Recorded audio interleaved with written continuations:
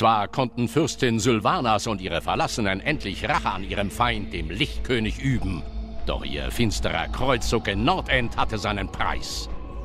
Die perfide Seuche, die der Verräter Putres bei der Schlacht an der Pforte des Zorns entfesselte, verbreitete sowohl in den Reihen der Allianz als auch in denen der Horde Tod und Verderben.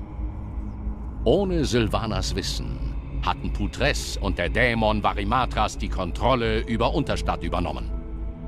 Letztlich wurden die Verlassenen fälschlicherweise der Gräuel dieser Verräter bezichtigt.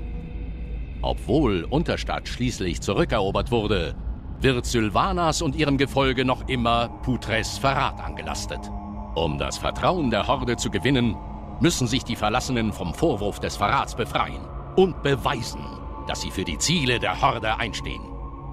Zu diesem Zweck hat Sylvanas die Verteidigungsanlagen in Tiresfall verstärkt und ihr Heer von Untoten auf jeden Notfall vorbereitet.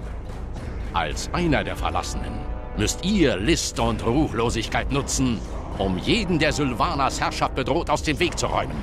Ganz gleich ob lebend, untot oder anderes.